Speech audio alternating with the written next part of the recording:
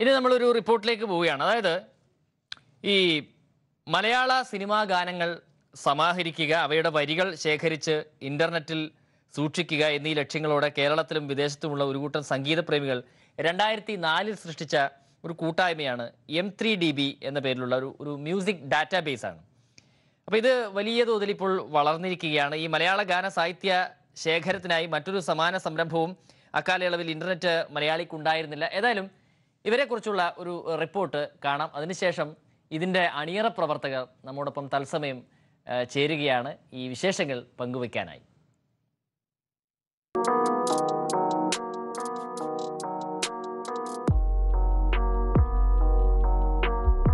രണ്ടായിരത്തി നാലിന്റെ തുടക്കത്തിലാണ് ഇന്റർനെറ്റിൽ സംഗീത പ്രേമികൾ എം പി ത്രീ പാട്ടുകൾ ആസ്വദിക്കുന്നതിനപ്പുറം മലയാള ഗാനങ്ങളെ സമാഹരിക്കുകയും ചിട്ടയായി പ്രവർത്തിക്കുകയും ചെയ്യുന്ന ഒരു സ്വതന്ത്ര വിജ്ഞാനകോശം എന്ന ആശയത്തിന്റെ തുടക്കം. പാട്ടുകൾ സൂക്ഷിക്കാൻ ഓൺലൈൻ സ്റ്റോറേജ് എന്ന നിലയിൽ തുടങ്ങിയ ഒരു യാഹു ഗ്രൂപ്പായിരുന്നു തുടക്കത്തിൽ ഇത്തരം വിവരങ്ങളും ആശയങ്ങളും പങ്കുവച്ചിരുന്ന ആദ്യ വേദി. ശേഖരിച്ച പാട്ടുകളുടെ വരികൾ ലളിതമായി സെർച്ച് ചെയ്ത് കണ്ടെത്തുവാൻ മലയാളം സോങ് ലിറിക്സ് എന്ന പേരിൽ ഒരു വെബ്സൈറ്റ് തുടങ്ങുകയും ചെയ്തു. ഇന്റർനെറ്റ് മലയാളവും മലയാളം ബ്ലോഗുകളും ശക്തിപ്പെട്ട കാലത്ത് രണ്ടായിരത്തി ഏഴിന്റെ തുടക്കത്തിൽ മലയാളം യുണീകോഡിലേക്ക് ഈ ഗാനശേഖരം വളർന്നു. ഏകദേശം മൂവായിരത്തോളം ഗാനങ്ങളുടെ വരികൾ മലയാളം യുണീകോഡിൽ ശേഖരിക്കുവാനായി.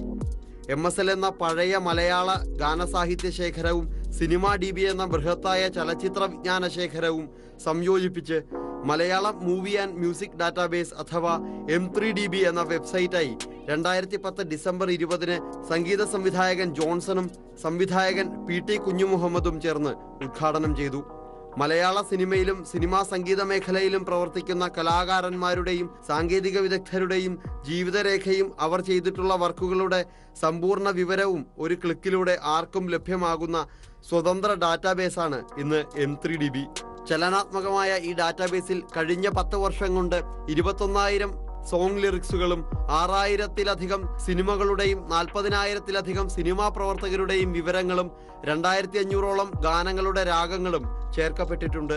സിനിമാ സംഗീത മേഖലകളുമായി ബന്ധപ്പെട്ട സമസ്ത തൊഴിൽ വിഭാഗങ്ങളിൽ പ്രവർത്തിക്കുന്നവരെയും അടയാളപ്പെടുത്തുക അവരുടെ പ്രൊഫൈൽ പേജുകൾ പൂർണ വിവരങ്ങളോടെ തയ്യാറാക്കുക എന്നീ ബൃഹത് ലക്ഷ്യങ്ങളാണ് എം ത്രീ ഡി ബിക്കുള്ളത് ഇതുകൂടാതെ ഗാനങ്ങളിലെ രാഗങ്ങളെ തരംതിരിച്ച് രേഖപ്പെടുത്താനായി രാഗ എന്ന പ്രൊജക്റ്റും സിനിമാ സംബന്ധിയായ ചർച്ചകൾക്കും വിവരശേഖരണത്തിലൂന്നിയ ആശയവിനിമയങ്ങൾക്കുമായി എം ത്രീ ഡി ബിയുടെ ഫേസ്ബുക്ക് ഗ്രൂപ്പും വളരെ കാര്യക്ഷമമായി പ്രവർത്തിക്കുന്നുണ്ട്.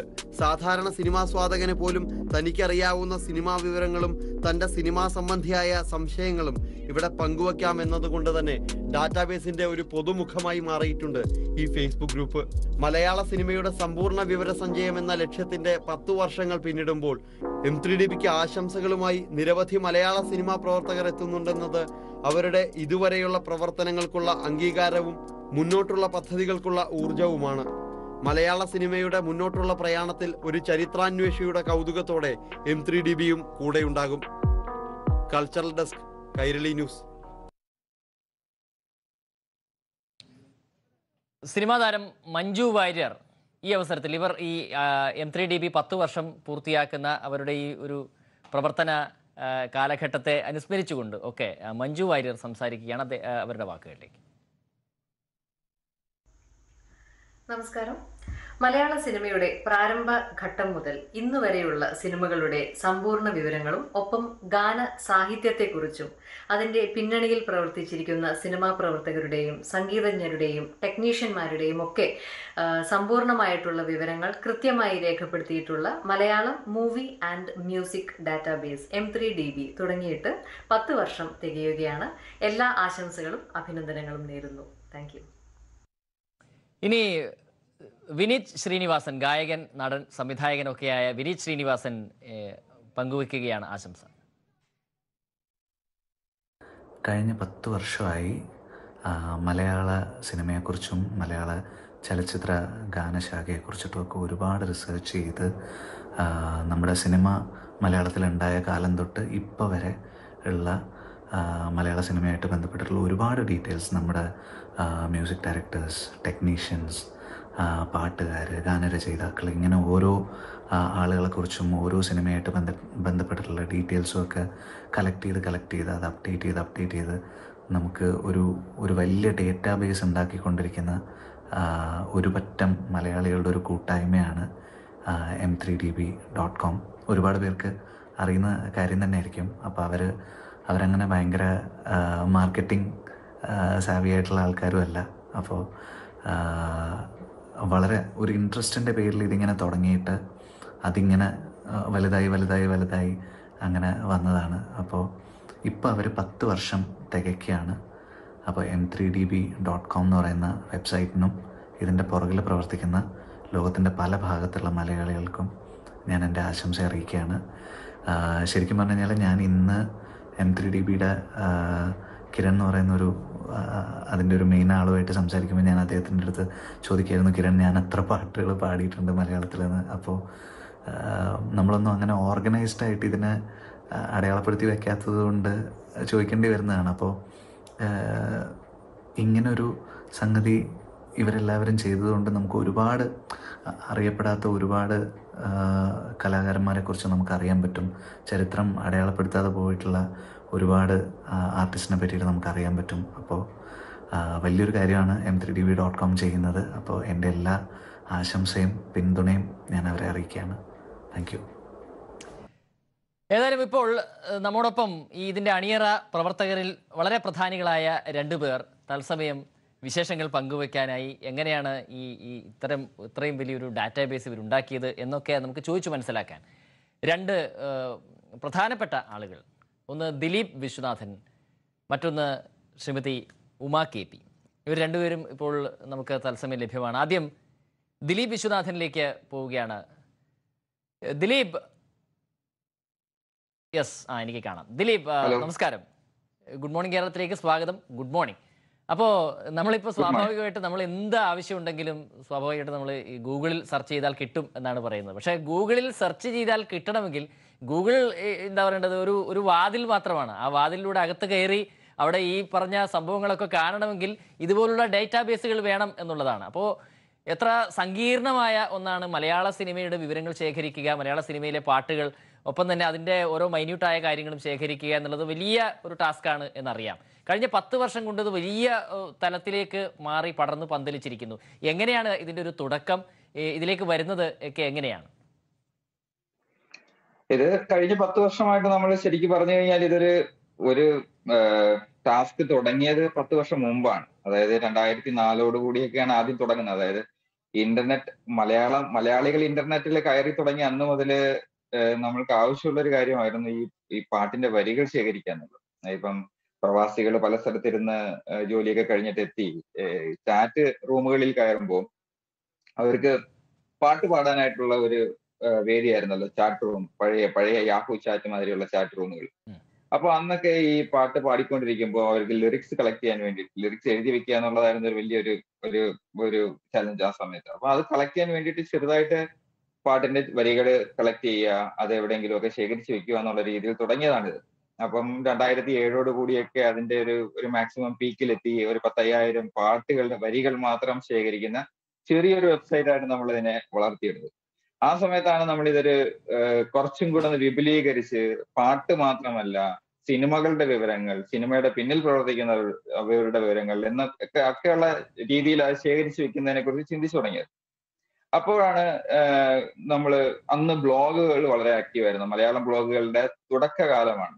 അന്ന് ബ്ലോഗുകളിൽ ആക്റ്റീവ് ആയിരുന്ന കുറേയേറെ സിനിമാ സംഗീത പ്രേമികളായിട്ടുള്ള ആൾക്കാർ ഇതൊന്ന് ഒത്തുകൂടിയിട്ട് രണ്ടായിരത്തി പത്ത് ഡിസംബർ ഇരുപതാം തീയതിയാണ് ആദ്യമായിട്ട് ഇന്ന് കാണുന്ന രീതിയിലുള്ള എം ത്രീ ഡി ബിയുടെ പ്ലാറ്റ്ഫോമിലേക്ക് ഇത് മാറുന്നത്. അപ്പോഴേക്കും നമ്മൾക്ക് ഒരു അയ്യായിരത്തിലേറെ പാട്ടിന്റെ വരികൾ നമ്മുടെ കയ്യിലുണ്ടായിരുന്നു. അതിനോടൊപ്പം തന്നെ ചെറിയ രീതിയിൽ സിനിമ വിവരങ്ങൾ ശേഖരിച്ചു തുടങ്ങിയിരുന്നു. അതെല്ലാം വെച്ചിട്ട് നമ്മൾ എം ത്രീ ഡി ബി എന്ന് പറയുന്ന ഇന്നത്തെ രീതിയിലേക്ക് ഉള്ള ഒരു ചുവടുമാറ്റം നടത്തുന്നത് രണ്ടായിരത്തി പത്ത് ഡിസംബർ ഇരുപതിനാണ്. അത് എം ത്രീ ഡി ബി എന്ന് പറയുമ്പോൾ നമ്മൾ ശരിക്കും പറഞ്ഞു കഴിഞ്ഞാൽ ഐ എം ഡി ബി കേട്ടിട്ടുണ്ടാവും എല്ലാവരും. എല്ലാ സിനിമകളുടെയും ഡേറ്റാബേസ് ആണ് ഐ എം ഡി ബി എന്ന് പറഞ്ഞത്. അതിന്റെ ഒരു മലയാളം വേർഷൻ മലയാള സിനിമകൾക്ക് വേണ്ടിയിട്ടുള്ള ഒരു വേർഷൻ എന്നുള്ള രീതിയിൽ നമ്മൾ തുടങ്ങിയതാണ്.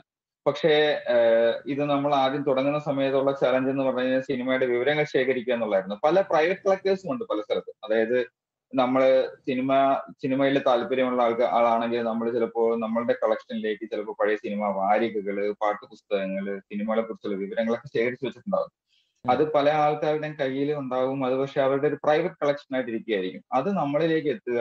അത് നമ്മൾ കളക്ട് ചെയ്തിട്ട് മലയാളം യൂണിക്കോഡ് വഴി നമ്മളത് സൈറ്റിൽ എൻട്രി ചെയ്യുക. എൻട്രി ചെയ്ത് കഴിഞ്ഞാൽ മറ്റുള്ളവർക്ക് സെർച്ചിലൂടെ ലഭ്യമാക്കുക എന്നുള്ളതായിരുന്നു ആദ്യത്തെ ചലഞ്ച്. ആ ചലഞ്ചിന് വേണ്ടിയിട്ട് ആ ചലഞ്ച് ഏറ്റെടുക്കാൻ വേണ്ടി നമ്മളോട് കൂടെ ഒരു അമ്പതിലധികം ആൾക്കാരുണ്ടായിരുന്നു ആ സമയത്ത്. അങ്ങനെ നമ്മൾ തുടങ്ങി വെച്ചു. അതെ അപ്പോൾ അത് തന്നെയാണ്. ഈ ഇതിന്റെ ഇത് കളക്ട് ചെയ്യുമ്പോഴുണ്ടാകുന്ന വലിയൊരു ചലഞ്ച് ഇപ്പോൾ പലപ്പോഴും എററുകൾ വരാനുള്ള ഒരു സാധ്യതയുണ്ട്. അതുപോലെ തന്നെ ഇപ്പം ഒരുപാട് പഴക്കമുള്ള സിനിമകളുടെ വിവരങ്ങൾ പാട്ടുകൾ ഇതൊക്കെ ശേഖരിക്കുന്നതിന് വലിയ ഒരു ബുദ്ധിമുട്ടുണ്ട്. അതെങ്ങനെയാണ് ശരിക്കും അത് ചെയ്തെടുത്തത്? ഇപ്പം പലയിടത്തും ആയി വ്യാപിച്ച് കിടക്കുന്നു. ഒരു കാലത്ത് മലയാള സിനിമ എന്ന് പറയുന്നത് തന്നെ ചെന്നൈ കേന്ദ്രീകരിച്ചായിരുന്നു. അപ്പോൾ ഈ പറഞ്ഞതുപോലെ നിർമ്മാതാക്കളും എല്ലാം ചെന്നൈ കേന്ദ്രീകരിച്ച് പിന്നെ ഉണ്ടായിരുന്ന ആളുകളൊക്കെ ആയിരുന്നു. അപ്പോൾ ആ വിവരങ്ങളൊക്കെ ശേഖരിക്കുന്നതിലുള്ള ഒരു പ്രതിസന്ധി അതെങ്ങനെയാണ് നിങ്ങൾ മാനേജ് ചെയ്തത്? അത് തന്നെയായിരുന്നു ഏറ്റവും വലിയൊരു ചലഞ്ച് ആദ്യത്തെ കാലഘട്ടങ്ങളിൽ വലിയൊരു വെല്ലുവിളിയായിരുന്നു അത്. അപ്പോൾ ആയിരത്തി തൊള്ളായിരത്തി ഇരുപത്തി എട്ടിൽ വിഗതകുമാരൻ മുതൽ ഇങ്ങോട്ടുള്ള സിനിമകൾ കളക്ട് ചെയ്ത് തുടങ്ങിയപ്പോൾ നമ്മൾ പല സോഴ്സസും അതിന് വേണ്ടിയിട്ട് യൂസ് ചെയ്തിട്ടുണ്ട്. വിക്കി പോലുള്ള സോഴ്സസ് നമ്മൾ യൂസ് ചെയ്തിട്ടുണ്ട്. അതുപോലെ തന്നെ സിനിമാക്കാരിലേക്ക് നേരിട്ടെത്താൻ ശ്രമിച്ചിട്ടുണ്ട്. സിനിമ അവരുടെ സിനിമ വിവരങ്ങൾ പ്രൊഡക്ഷൻ ഹൗസസുകളും നേരിട്ട് ബന്ധപ്പെടുക അവരുടെ സിനിമ വിവരങ്ങൾ കളക്ട് ചെയ്യുക. പിന്നെ ഉള്ളത് ഈ പറയുന്ന മാതിരി കളക്ടേഴ്സ് ആയിരുന്നു പ്രൈവറ്റ് കളക്ടേഴ്സ് ഒരുപാട് പേരെ നമ്മൾ നേരിട്ട് കാണാൻ പറ്റിയിട്ടുണ്ട്. വിജയകൃഷ്ണ സാറ് അതുപോലെ പെരുന്താനി ബാലചന്ദ്രൻ അങ്ങനത്തെ ഉള്ള സിനിമ ചരിത്രകാരന്മാരെ നമ്മൾ പോയി കണ്ടിട്ടുണ്ട്. അവരോട് സംസാരിച്ചിട്ടുണ്ട്. അവരുടെ പുസ്തകങ്ങൾ നമ്മൾ അവലംബമാക്കിയിട്ടുണ്ട്. അങ്ങനെ മലയാള സിനിമയുടെ ചരിത്രം പറയുന്ന ഒരുപാട് പുസ്തകങ്ങൾ വാങ്ങിക്കൂട്ടുക എന്നുള്ളതായിരുന്നു ഞങ്ങളുടെ ആദ്യത്തെ ജോലി. അങ്ങനെ അത് അത് ചെയ്തു ആദ്യമേ. അതിനുശേഷം അതിൽ നിന്നുള്ള വിവരങ്ങൾ നമ്മൾ ഇതിലേക്ക് ശേഖരിക്കുക എന്നുള്ളതായിരുന്നു രണ്ടാമത്തെ പ്രധാന പ്രവർത്തനം. അങ്ങനെ നമ്മൾ അത് അതൊരു ചിട്ടയായിട്ടാണ് വന്നത്. അതായത് ആദ്യം എന്തൊക്കെ വിവരങ്ങളാണ് വേണ്ടത് എന്നുള്ളത് ആദ്യം മനസ്സിലാക്കുക. ആ വിവരങ്ങൾ മാത്രം ശേഖരിക്കുക. അത് വളരെ ചെറിയ ഒരു സിനിമ എടുക്കുകയാണെങ്കിൽ അതിന്റെ വളരെ ചെറിയ ചെറിയ ഭാഗങ്ങൾ മാത്രം പിന്നെ അഭിനയിക്കുന്ന അഭിനയിച്ചിരിക്കുന്നത് ആരാണ്? കഥാതിരക്കഥ സംഭാഷണ സംവിധാനം പിന്നെ ക്യാമറാമാൻ അങ്ങനത്തുള്ള പ്രധാനപ്പെട്ട വ്യക്തികളുടെ വിവരങ്ങൾ ശേഖരിച്ചാണ് നമ്മൾ തുടങ്ങുന്നത്.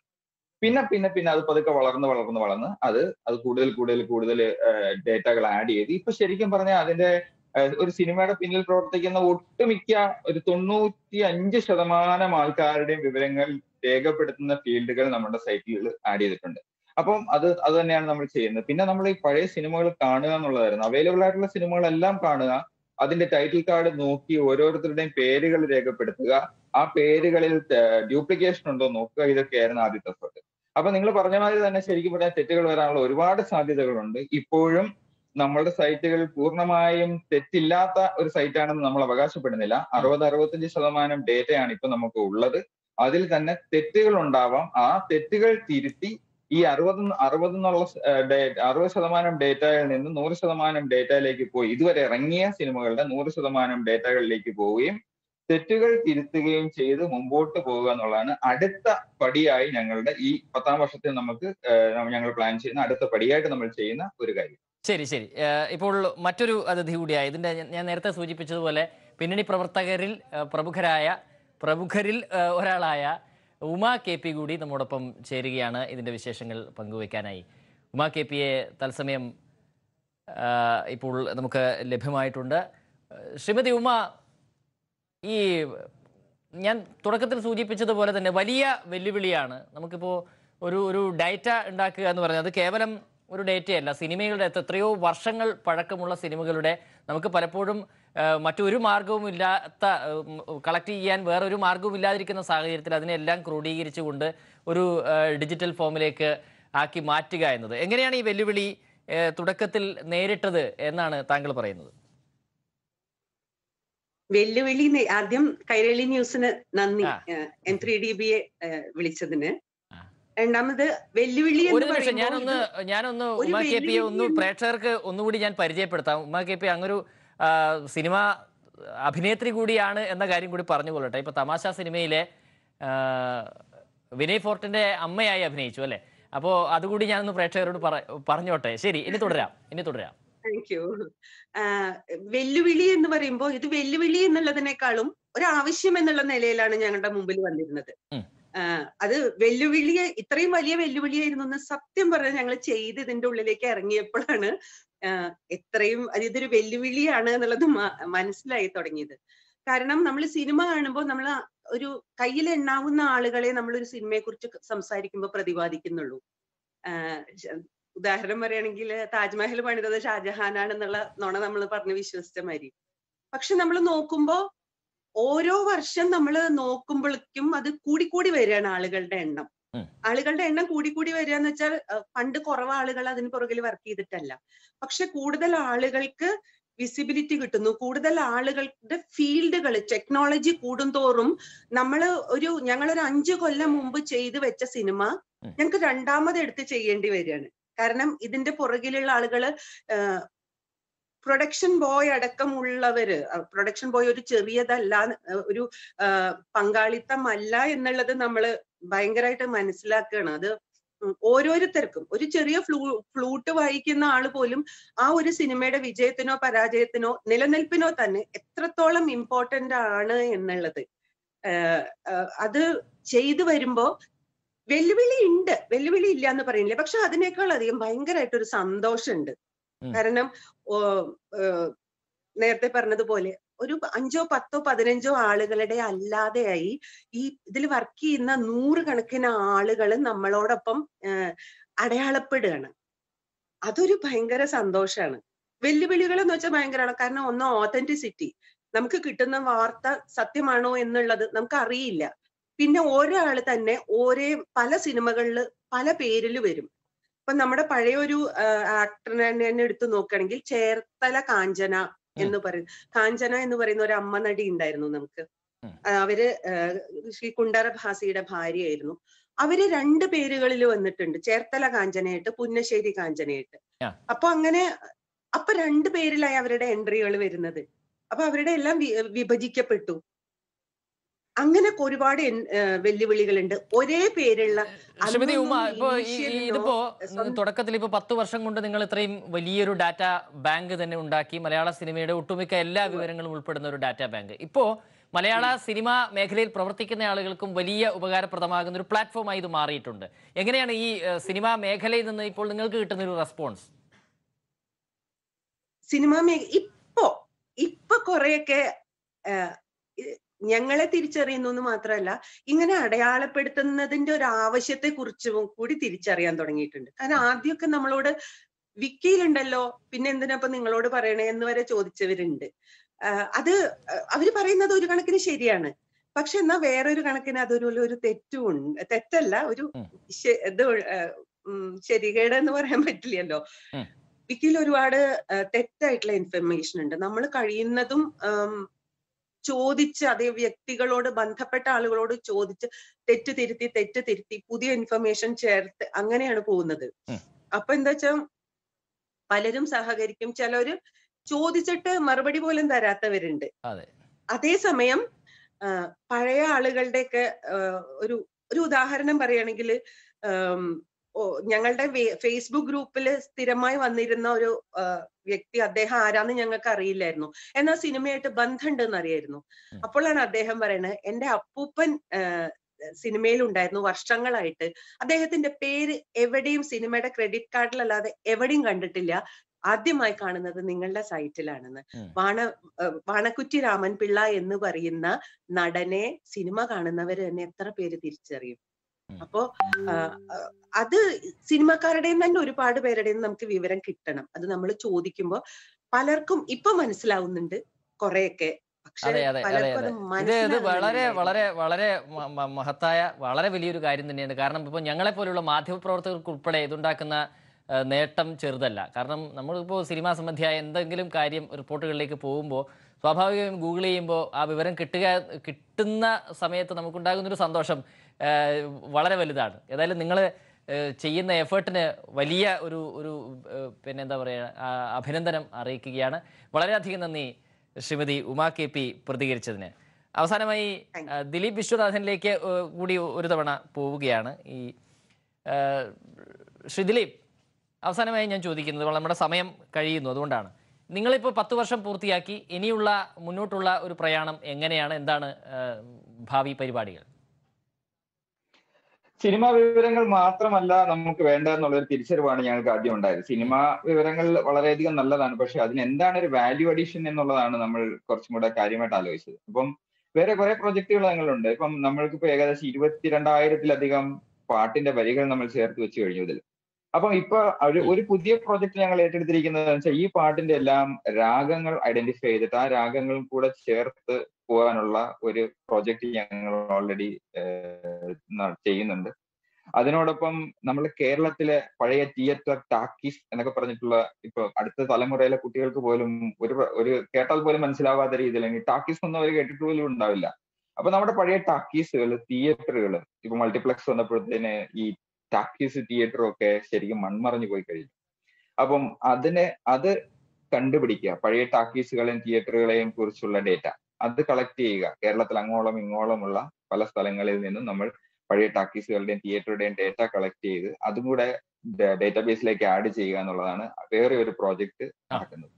പിന്നെ മൂന്നാമത്തത് ഡബിങ് ആർട്ടിസ്റ്റുകൾ ശരിക്കും ഡബിങ് ആർട്ടിസ്റ്റുകൾ ആണ് ഓരോ നടന്റെയും നടിയുടെയും വിജയത്തിന് പിന്നിൽ പ്രവർത്തിക്കുന്ന വലിയൊരു ഫാക്ടറാണത് പക്ഷെ പലപ്പോഴും അവർക്ക് വേണ്ടത്ര ക്രെഡിറ്റ് കിട്ടുന്നുണ്ടോ എന്നുള്ളതാണ് മലയാള സിനിമയിൽ ചോദിക്കപ്പെടേണ്ട ഒരു ചോദ്യം. അവർക്ക് കഴിഞ്ഞ ഒരു കുറച്ചു നാളെ ആയിട്ടുള്ളൂ ഡബിങ് ആർട്ടിസ്റ്റുകൾക്ക് അവാർഡ് പോലും കൊടുത്തു തുടങ്ങിയിട്ട്. അപ്പോ പഴയ പല പല സിനിമകളുടെയും ക്രെഡിറ്റിൽ ടൈറ്റിൽ ക്രെഡിറ്റിൽ ഒരിക്കലും ഡബിങ് ആർട്ടിസ്റ്റുകളുടെ പേര് വന്നിരുന്നില്ല. വളരെ അടുത്ത സമയത്താണ് ഡബിങ് ആർട്ടിസ്റ്റുകളുടെ പേര് വെക്കാൻ തുടങ്ങിയത് തന്നെ. അപ്പൊ നമ്മൾ ശരിക്കും പറഞ്ഞ ഒരു വോയിസ് ലൈബ്രറി തുടങ്ങുന്നുണ്ട്. ഡബിങ് ആർട്ടിസ്റ്റുകളുടെ വിവരങ്ങളൊക്കെ കളക്ട് ചെയ്യുക അവർ അവരുടെ അവർ ഏത് സിനിമയ്ക്ക് ആർക്ക് ശബ്ദം കൊടുത്തു കിട്ടിയ അവാർഡുകൾ അങ്ങനത്തുള്ള കുറെ ഏറെ ഡേറ്റ ഇങ്ങനെ ഇങ്ങനെ ചെറുതും വലുതുമായിട്ടുള്ള നമ്മളുടെ ഡേറ്റാ ബേസിൽ എന്താണ് വാല്യൂ കൂടുതലായിട്ട് നമ്മൾക്ക് ചേർക്കാൻ കഴിയുന്നത് എന്നുള്ള ഒരു തോന്നലിൽ നിന്നാണ് നമ്മൾ ഈ പുതിയ പുതിയ ചെറിയ പ്രോജക്റ്റുകളെല്ലാം തീർച്ചയായും തീർച്ചയായും. അത് വളരെ വളരെ വളരെ ഞാൻ നേരത്തെ സൂചിപ്പിച്ച പോലെ മഹത്തായ കാര്യം തന്നെയാണ്. എല്ലാവിധ ഭാവുകങ്ങളും നേരുകയാണ്. ഇനി അങ്ങോട്ടുള്ള പ്രയാണത്തിനും ഇത് സിനിമാ മേഖലയിലുള്ളവർക്ക് മാത്രമല്ല പൊതുജനത്തിനും ഈ സിനിമാ ആസ്വാദകർക്കെല്ലാം ഉപകാരപ്പെടുന്ന ഒരു കാര്യമാണ്. എന്തായാലും ഗുഡ് മോർണിംഗ് കേരളത്തിൽ വന്ന് ഈ വിശേഷങ്ങൾ പങ്കുവച്ചതിന് വളരെയധികം നന്ദി. ദിലീപ് വിശ്വനാഥൻ ഒപ്പം ഉമ കെ പി. ശരി. നമ്മളൊരു ഇടവേളയിലേക്ക് പോവുകയാണ്.